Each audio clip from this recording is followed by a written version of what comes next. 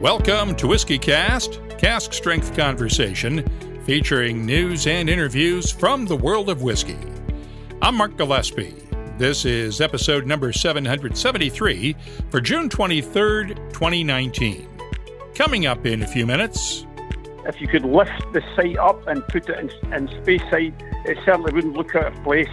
Um, and as I say, if I was going to be doing something in my retirement, uh, I could probably walk to the distillery. It's only about half a mile from my house. While Ardgowan Distillery's backers will be starting from scratch when construction begins on the banks of Scotland's River Clyde later this year, there's a lot of experience on the team. Max McFarlane was Highland Park's whiskey maker for many years, and he's coming out of retirement to make the first Ardgowan whiskey, which will debut this fall under the Clydebuilt brand. We'll talk with Max and Ardgowan CEO Martin McAdam later on WhiskyCast in depth.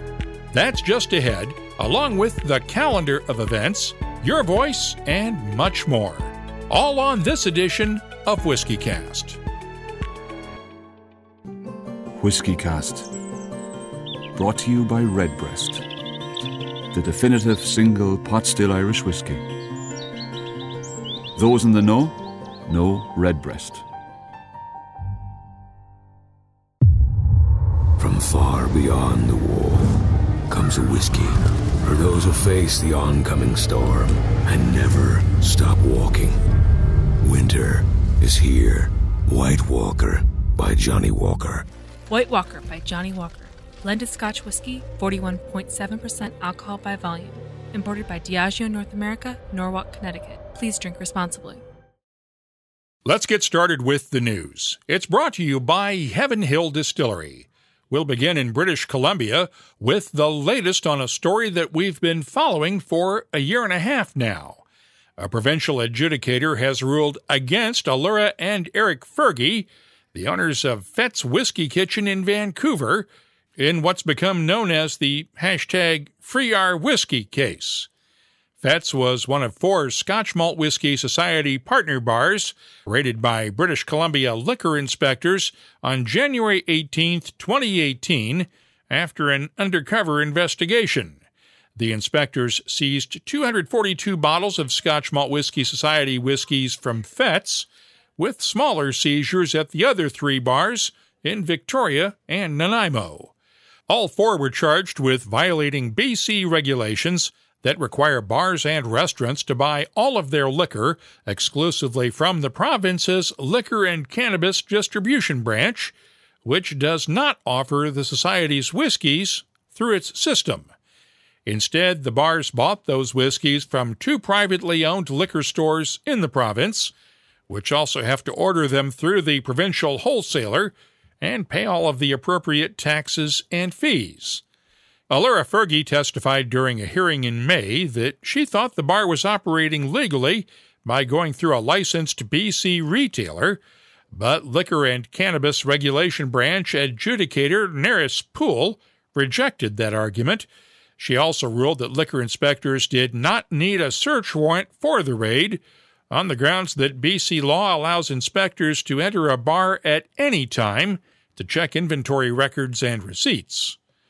Fets was fined $3,000, the maximum penalty for a first time offender, on top of losing the 242 bottles of whiskey with an estimated value of almost $40,000. The Fergies are appealing the ruling. That appeal will be heard by a different adjudicator within the Liquor and Cannabis Regulation Branch. It's a mandatory step before the case can be appealed in court. In an email to WhiskyCast, Eric Fergie claimed Poole made her decision before listening to any of their evidence, and that the ruling means the BC government is not required to follow its own rules or the rule of law. Rob and Kelly Carpenter, the owners of the Scotch Malt Whisky Society's Canadian chapter, also blasted the ruling in an email, calling it fundamentally unjust while also calling for an end to the BC ban on sourcing whiskeys from privately owned liquor stores. In more news of lost whiskeys, only in this case it appears to be nature's wrath instead of the regulators. Cleanup work is underway after the partial collapse of a rickhouse shortly after midnight Sunday night at the O.Z. Tyler Distillery in Owensboro, Kentucky. One corner of the rickhouse caved in as a severe thunderstorm hit the area, sending about 4,500 barrels of bourbon crashing to the ground. No one was hurt, and according to master distiller Jacob Call, most of the barrels appear to have survived the storm as well. We really didn't have much breakage. You know, oak barrels are, are pretty stout, and, you know, we're still trying to kind of analyze how much actually broke, but, you know, no EPA issues. There's no river of bourbon. There's no, the grass isn't even really stained. So, you know, right now it's looking pretty good. Workers will use a crane to remove the rest of the barrels from the warehouse, which engineers have determined is too unstable to enter safely. That warehouse was built around 50 years ago, but after Terressentia bought the old Medley distillery in 2014, the company spent almost two years renovating the facility before reopening it. It was in really bad shape when we got here. We spent nearly thirty million dollars uh, rebuilding the facility. Uh, done a lot of work on them on all of our warehouses, so uh, they've been repaired. And um, this particular warehouse, uh, I don't know if it's just bad luck or what, but this warehouse got hit by uh, Hurricane uh, Ike that kind of came through here and destroyed some warehouses. So it's been repaired in the past. The collapse came almost a year to the day after the partial collapse of a rickhouse at Barton's 1792 distillery in Bardstown on June 22, 2018. The rest of that rickhouse came down on July 4th, a couple of weeks later. Sazerac, the owner of Barton 1792, has never released the results of an investigation into the cause of that collapse. We'll have more on this story later on. In other news, Diageo's plans to upgrade visitors centers at 12 of its distilleries in Scotland got a boost this week. Highland Council officials signed off on planning permission for the project at Clynelish Distillery in the Highlands. That clears the way for construction to begin by the end of this summer. Clynelish will be one of the four distilleries with a special Johnnie Walker emphasis linked to the planned Johnnie Walker experience in Edinburgh. Glenkinchie and Caol Ila have already received planning approval for their expansions, while Moray Council is still reviewing the plans for work at Cardhu Distillery in Speyside. Diageo is investing about 150 million pounds in the tourism project. And here's why that's important. Scotch whisky tourism is at an all-time high this week, the Scotch Whisky Association reported more than 2 million visits to distilleries last year. That's up by 6% over 2017, and spending at the visitors' centers grew by 12% to 68 million pounds. That's about $87 million. To put the growth into perspective, distillery visits in 2018 were up by 56% over 2010's numbers and spending was up by 154% over that period. That's a lot of t shirts, along with distillery exclusive bottlings. And at least part of the 2018 increase could be attributed to interest in the Macallan's new distillery in Speyside, which opened to the public just last June. Edrington invested around $178 million in the complex, and so far, Nearly 30,000 people have visited the Macallan in the new distillery's first year. Morag Ralph heads up the Macallan Visitors Center team. Are you surprised by the reaction so far? Absolutely. People are coming from all over the world to see this new distillery, and the absolute uh, reaction from them. They're, they've never seen anything like this. This is taking distillation to a whole different level. In what way? Because at the heart of it, it's still a distillery. It's just everything you built around it. Can I just say, absolutely, the care and attention to what we're distilling and what we're producing there at the Macallan is the same old as we've done for many years. But this is a state of the art equipment. The building itself is the most amazing, iconic building. There has never been a distillery built like this, and the roof is a one off in the entire world, there has never a roof been built like this. And I spoke to the roof makers one day. I was up on that roof during construction. I have seen this distillery from inception to delivery. We've been through four years of this tearing up of the ground, building, digging into this hole, building this amazing distillery. And I was lucky enough, just about one year before it opened, when the roof was just about completed, I was up there on that rooftop with a guy who had designed and was working on the build. And he was so excited to tell me how this roof had been designed. And he was saying there has never been a roof built like this anywhere in the world. And it's been built to deal with the variety of temperature. And it can cope with one metre of snow or more. And that the weight in that snow, the roof has been dis- and built in such a way that this has never been done before. And the grass on the roof now, we've got it's like a meadow. We've got wild flowers. We've got different grasses built on that roof to be green all year round. Challenging if you get a little bit of warm weather as we did last summer. We laugh in Scotland. We had three months of 20, 25 degrees, which is unheard of in Scotland. The roof took a bit of a pasting then, but it has since recovered, and the roof again now is looking pretty special. I know that there have been some wags around the Speyside region that have referred to this place as Malt Disney World. They've made jokes about seeing the Teletubbies up on the hills and stuff. What do you guys think? Or at least they're talking about the Macallan, right? You know what? There is no such thing as bad publicity. They're talking about it. We are producing still the finest single malt whiskey that you will get anywhere in the world, and we have got the most amazing way to display this. And we, we've got guides now trained in operation of this amazing new facility with all the different pillars we discuss and how this is displayed, the interactive points right through the distillery. It's actually bringing people in that maybe would not have been interested in whiskey before. So this is opening up a whole new door to a whole new raft of people, which can only be good for Macallan and the rest of the whiskey industry. And when we were building this, there was questions in the area from other visitor centres. Oh my goodness, Macallan are going to steal our visitors. Indeed not. Macallan are bringing in so many more people from around the world, and they will then they'll explore with us, and then we will encourage them to visit the traditional older working distilleries because that is how we operate in Speyside. We all work together. We're extremely proud of this new distillery, but we also want people to explore and see what else is out there. We are not precious in holding them all to us. She was in New York City this week for the debut of the Macallan Estate a single malt distilled exclusively from barley grown at the Easter Elchies estate on the banks of the River Spey. I'll have my tasting notes for it later on. One other note on the tourism front, and a clarification from our last episode.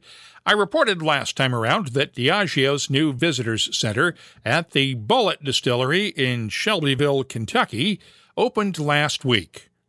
Well, while the grand opening was held last week, it officially opens to the public this Tuesday.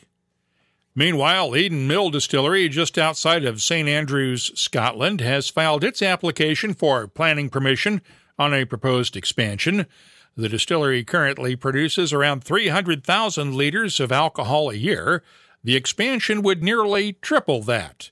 Construction could be completed next summer if Fife Council signs off on the project quickly.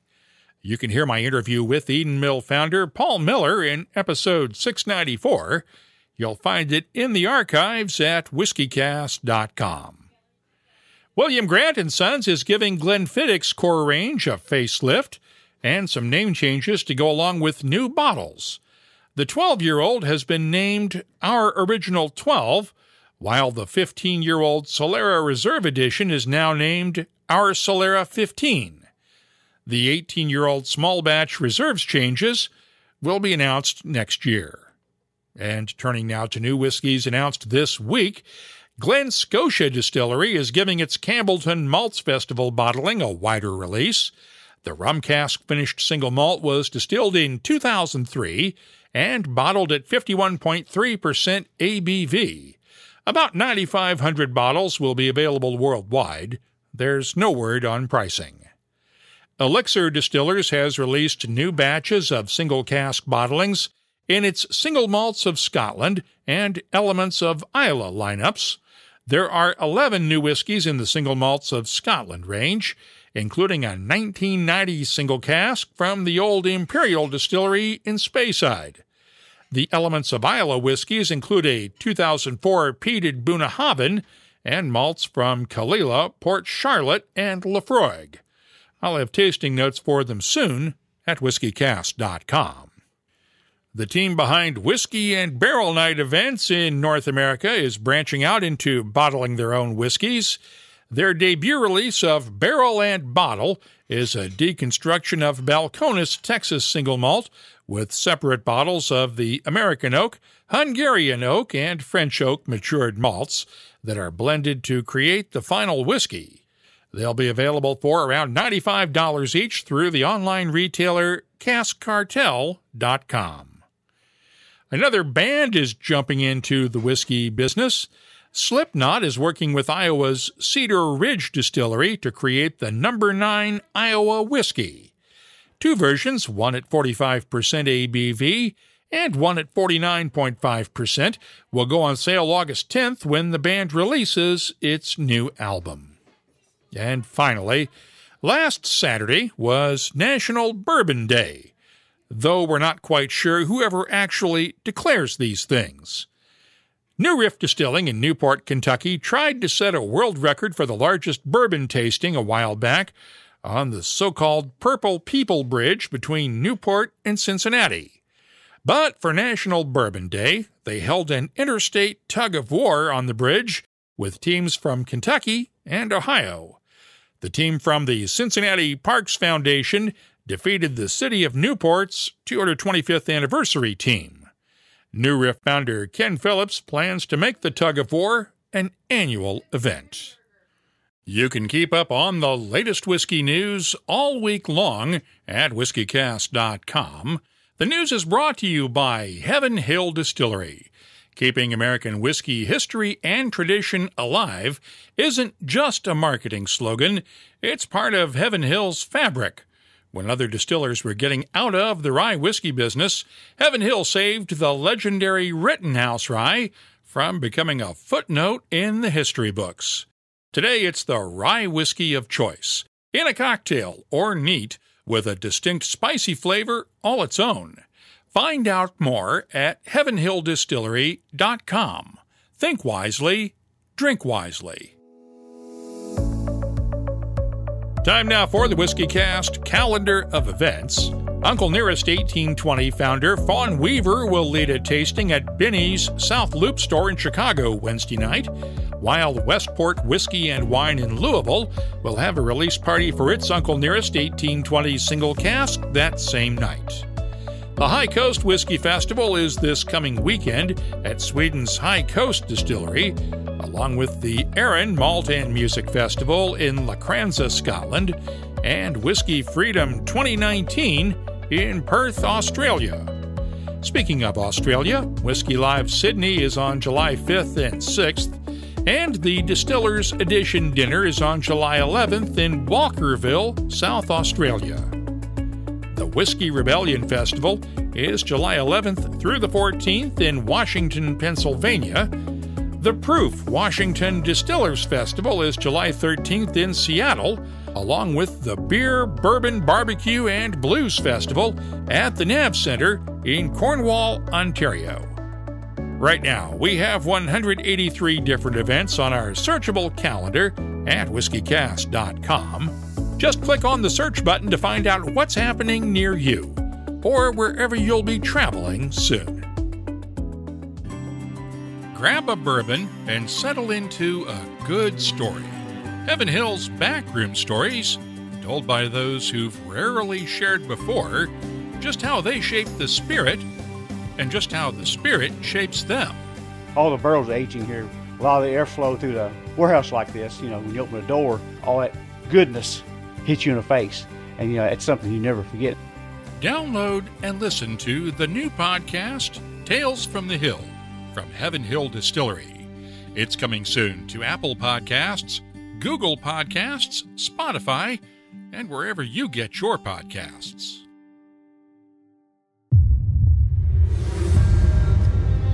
From deep in the north, far beyond the wall, the howl of the frozen wind brings word of something new. A whiskey from the land of always winter, for those who face the oncoming storm and never stop walking. Winter is here. White Walker by Johnnie Walker. White Walker by Johnnie Walker. Blended Scotch whiskey, 41.7% alcohol by volume. Imported by Diageo North America, Norwalk, Connecticut. Please drink responsibly. WhiskyCast in Depth is brought to you by Mortlach. There's a critical lesson many entrepreneurs learn the hard way. It's not what you know that matters, but knowing what you don't know and finding the right people with that knowledge to work with.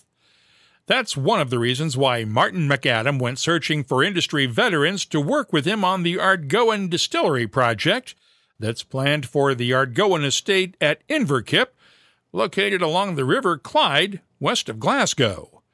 Former Macallan managing director Willie Phillips is Ardgowan's chairman, and longtime Edrington whiskey maker Max McFarlane is overseeing the whiskies.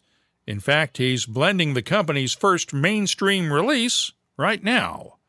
As we reported last time around in a WhiskyCast exclusive, Coppersmith is a blended malt that will be bottled under the Clydebuilt brand and is scheduled to hit the market this fall. We'll hear from Max McFarlane in a few minutes, but I also spent some time discussing the overall Ardgowan Distillery project with Martin McAdam. Whiskey's not been part of my career up to this point in time, but I've always been incredibly interested in whiskey. And uh, I became one of the founding investors in Kingsbarns Distillery in Fife in Scotland. And later on, I worked on the Ardnamurchan Distillery alongside the guys from Adelphi. So both of those things kind of said, okay, I'm beginning to learn something about this industry. And my career has been around startup businesses.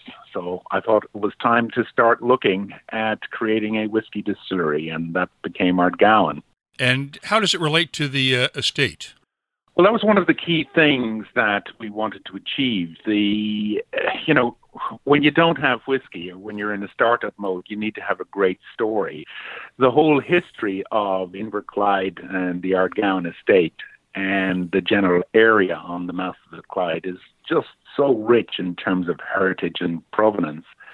And indeed, as you may be aware, there was an Ardgowan distillery closer up uh, the mouth of the river at Greenock, which was called the Ardgowan Distillery Company Limited. And unfortunately, that distillery was bombed by the Germans during World War II and destroyed, and then after the war, uh, it was converted to make yeast.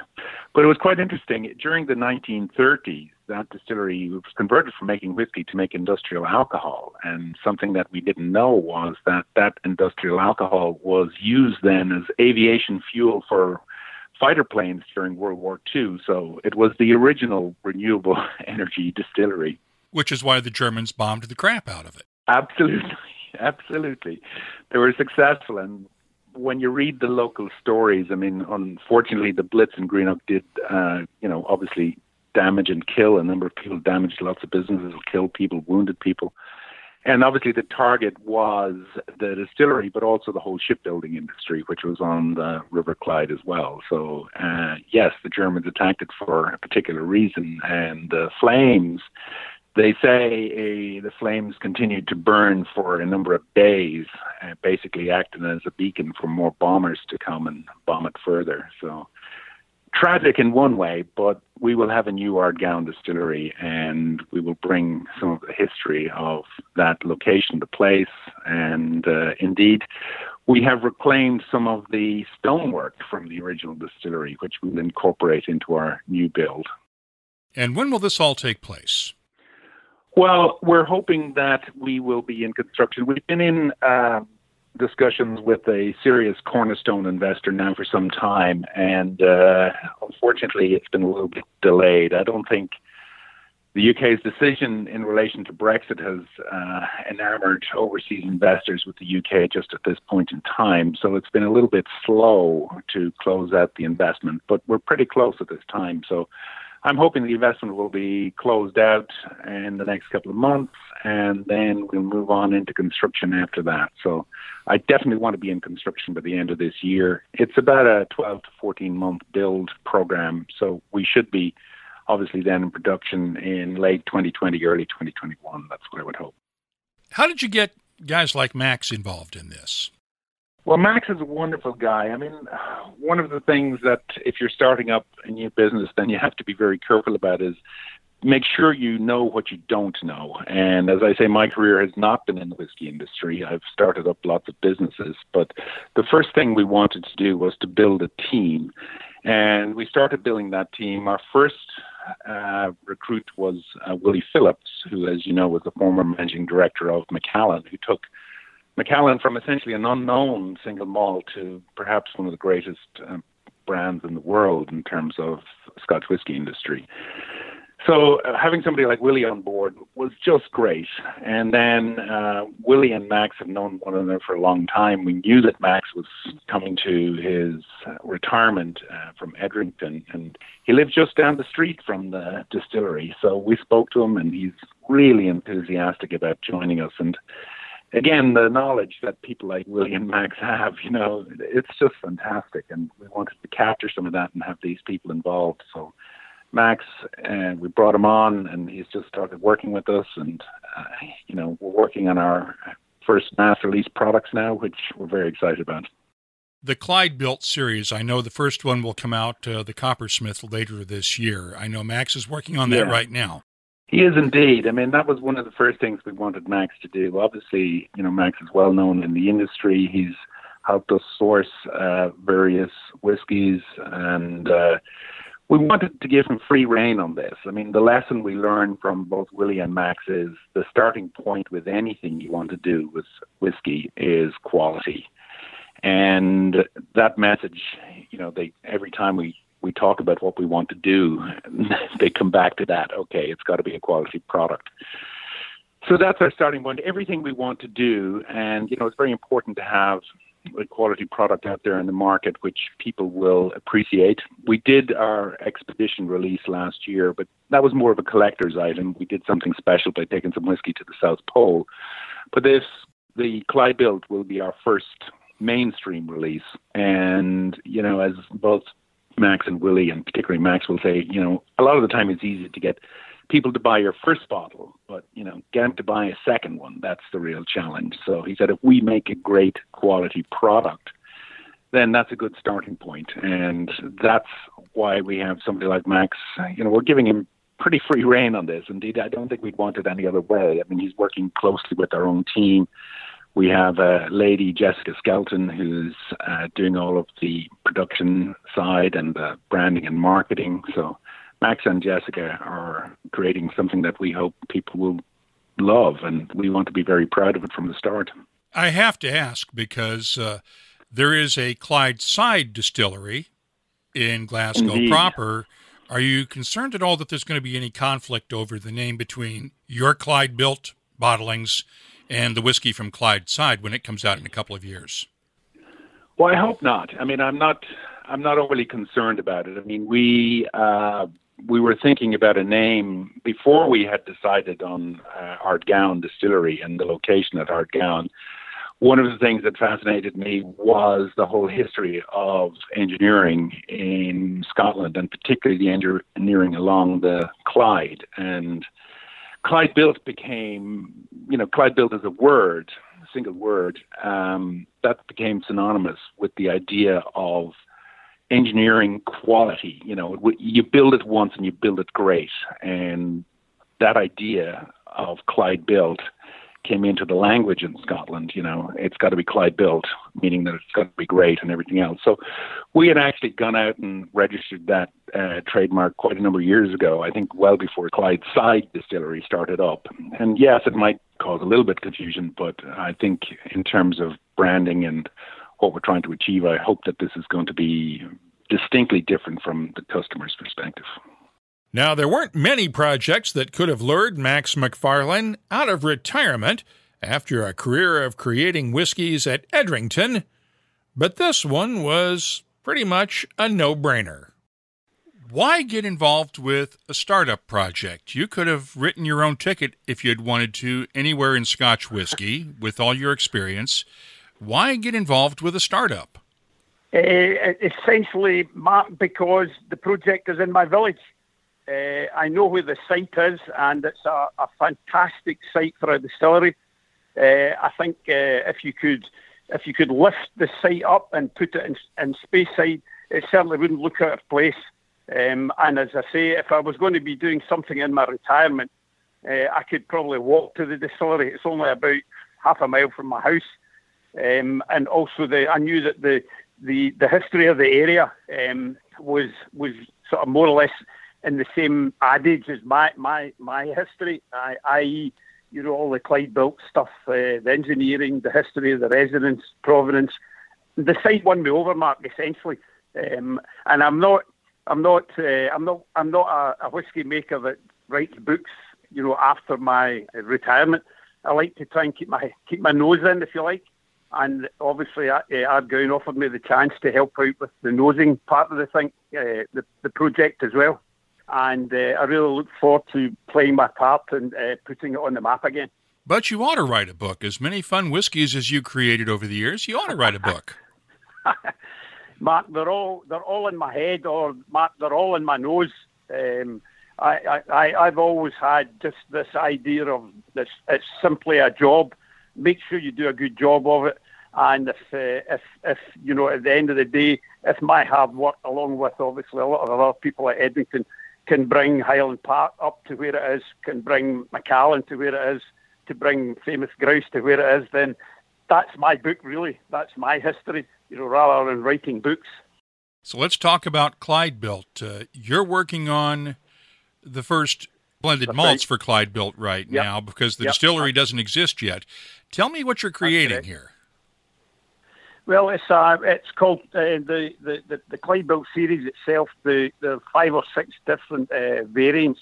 They're all called after uh, men or jobs that uh, are in the the uh, shipbuilding side of things uh, Clydebuilt itself, the first one, which is Coppersmith.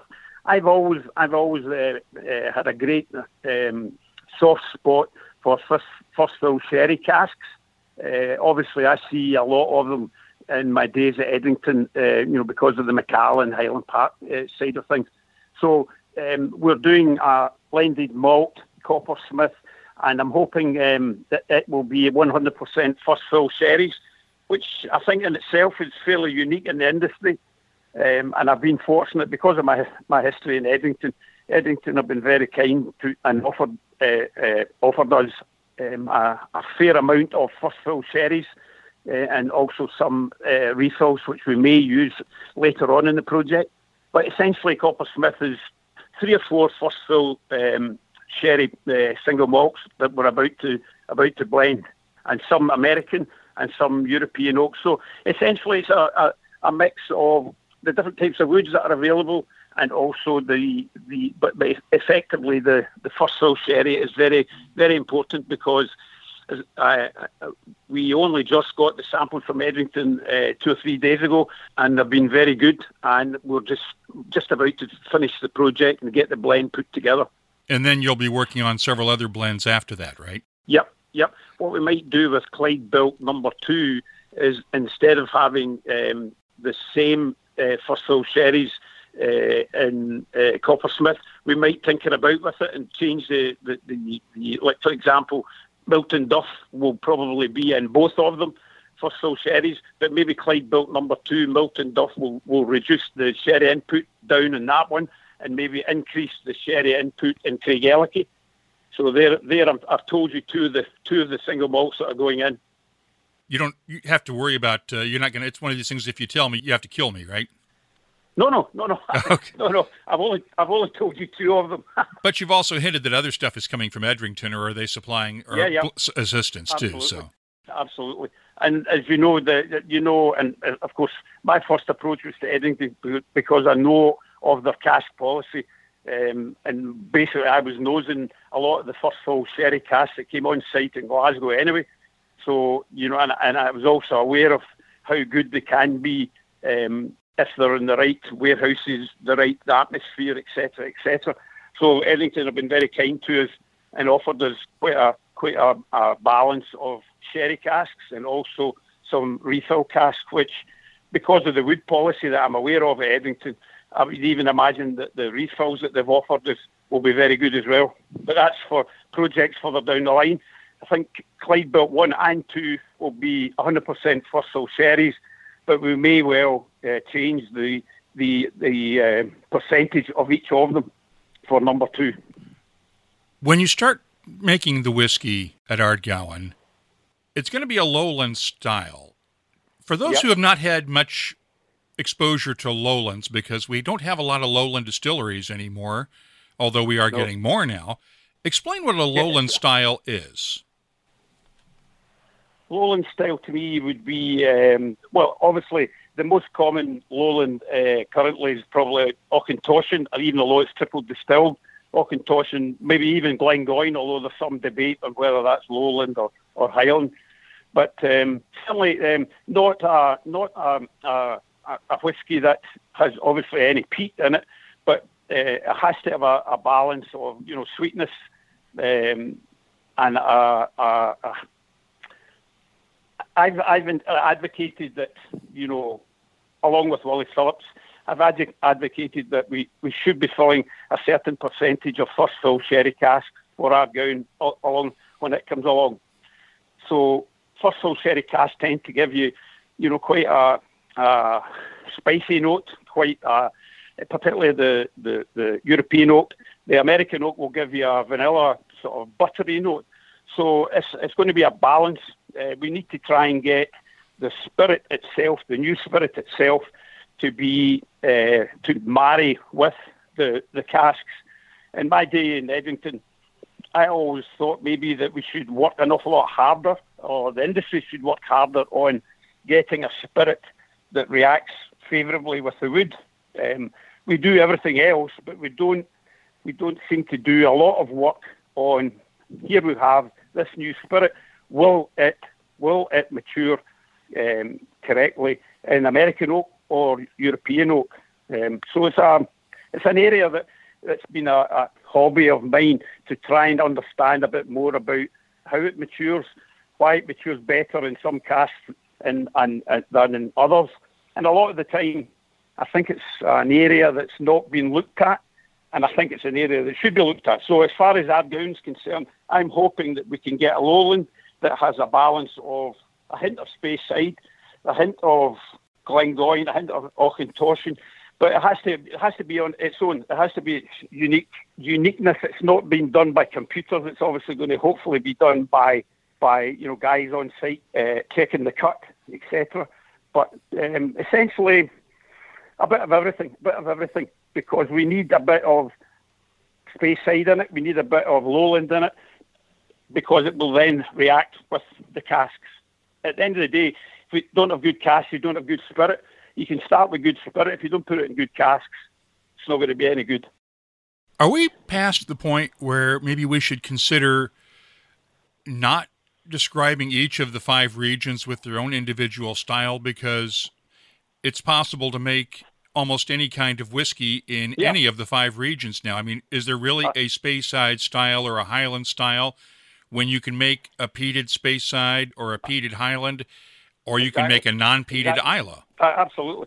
The I'm not saying because what would happen that would take the provenance away from the industry itself, uh, which we don't want to do. You know, from the worldwide point of view, we want to have people going to to Islay to appreciate the the, the peated malts.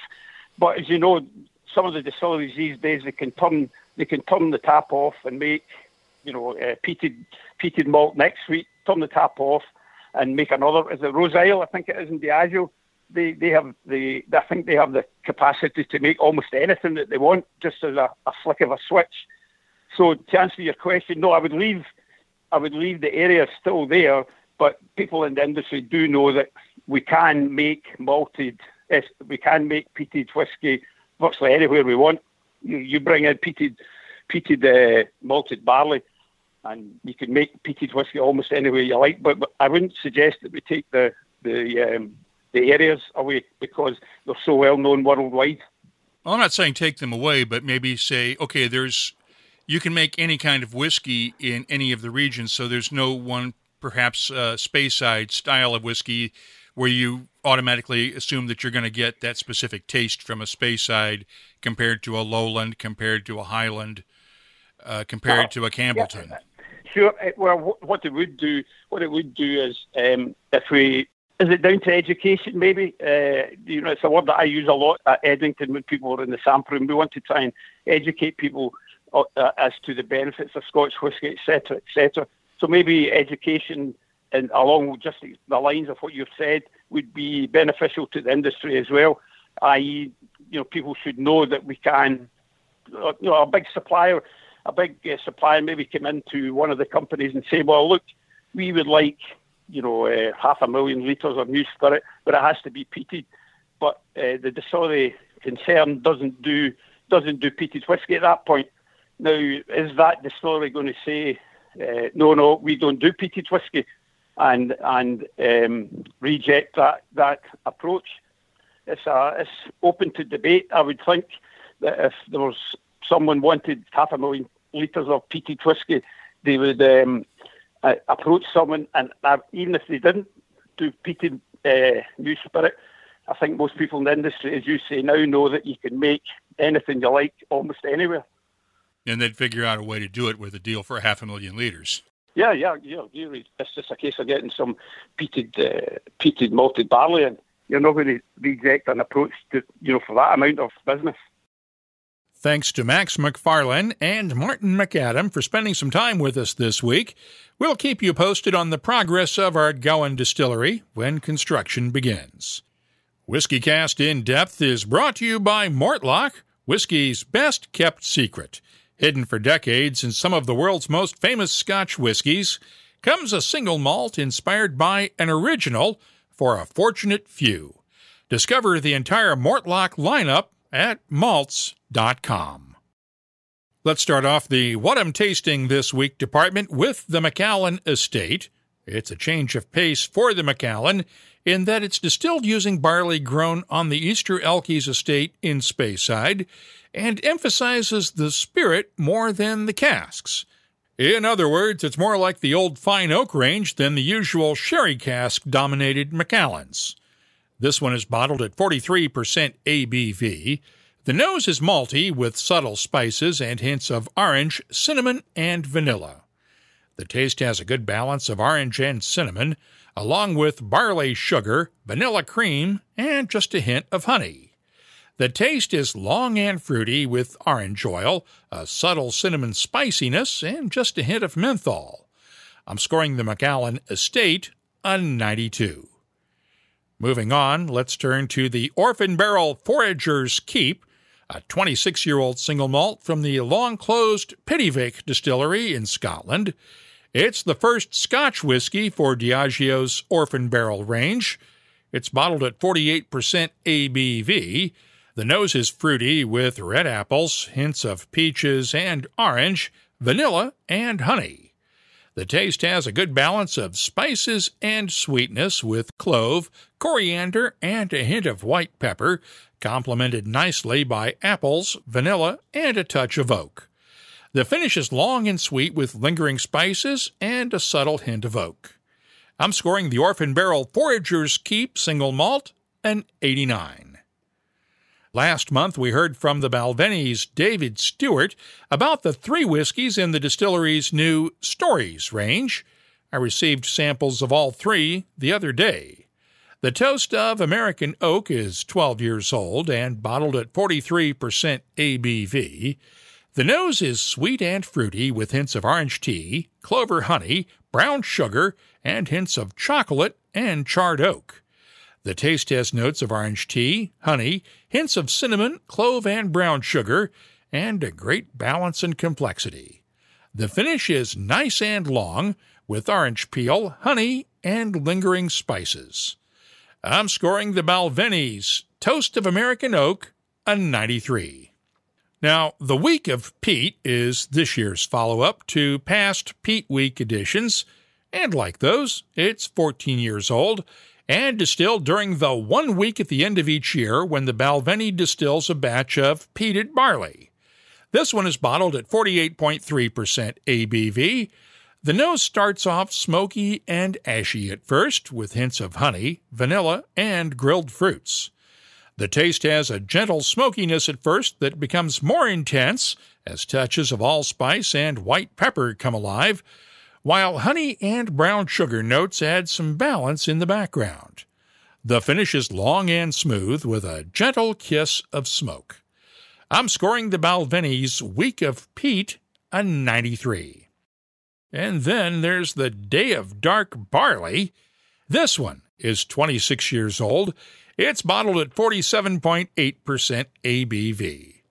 The nose is rich with dark fruits, toasted oak, gentle spices, and a hint of honey. The taste has a great balance of fruity tartness, spices, and oak, with hints of orange, baking spices, and brown sugar. The finish is long and subtle with hints of oak, dried fruits, and gentle spices. I'm scoring the Balvenie's Day of Dark Barley a 94.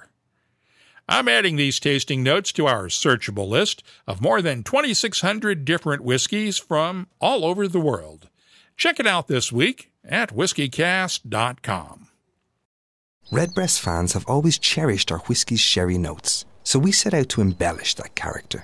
Introducing the Redbreast Lustau edition, a quintessential single pot still Irish whiskey finished in first fill Oloroso sherry casks from Spain's prestigious Bodegas Lustau.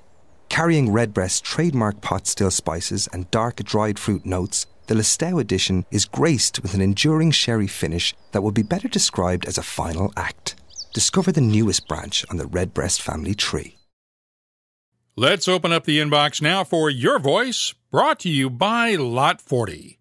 We had a lot of comments this week, especially after we reported on the ruling against Fets Whisky Kitchen in Vancouver by a British Columbia Liquor Regulation Branch adjudicator.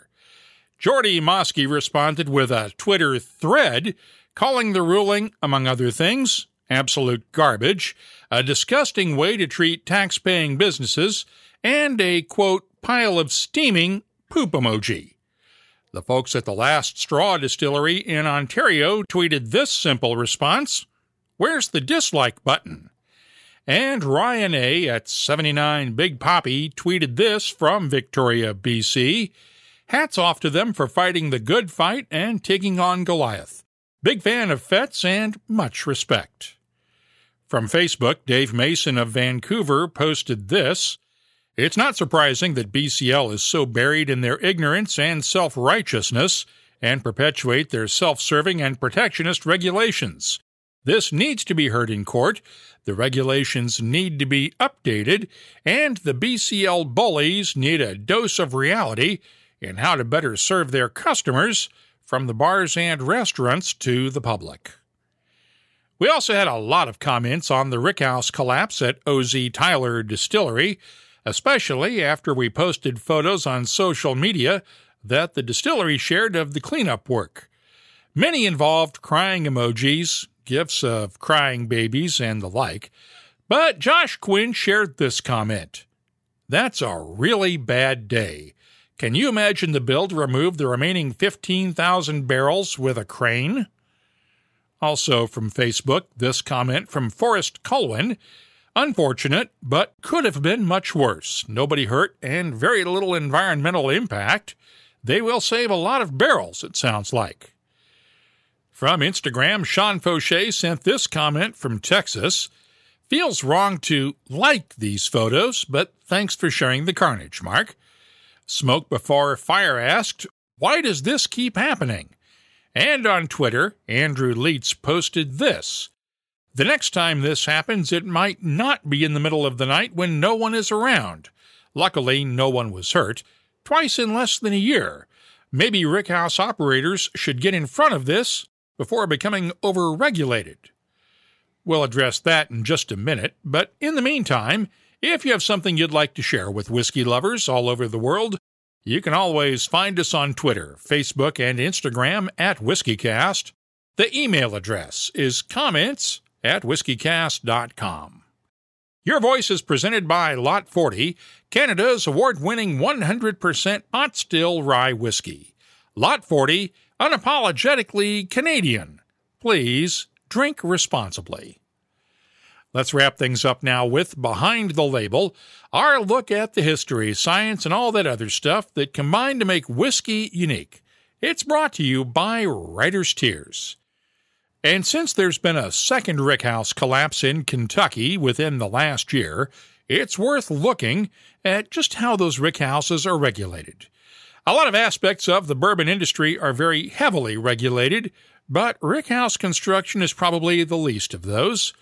They are all subject to building codes at the time of construction, and after the 1996 Heaven Hill Distillery fire in Bardstown, Kentucky changed its building codes to require fire sprinklers inside new warehouses, along with berms and ditches surrounding rickhouses to keep whiskey from flowing between buildings in a fire.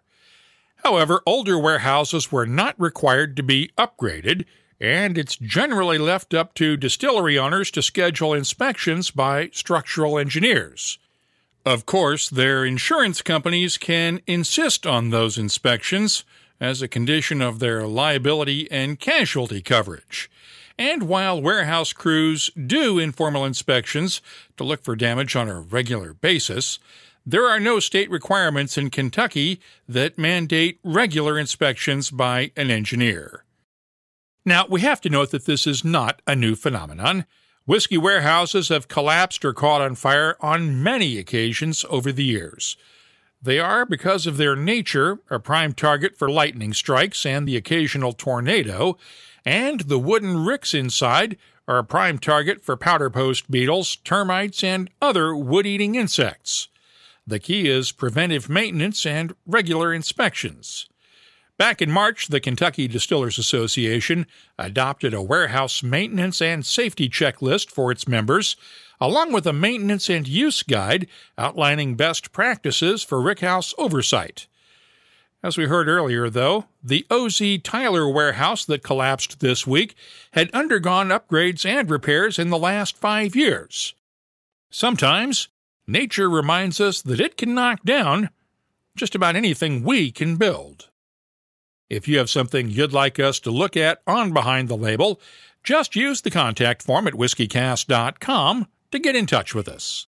Behind the Label is brought to you by Writer's Tears. Writer's Tears Copperpot, a unique triple distilled premium Irish whiskey, combining single malt and single pot still.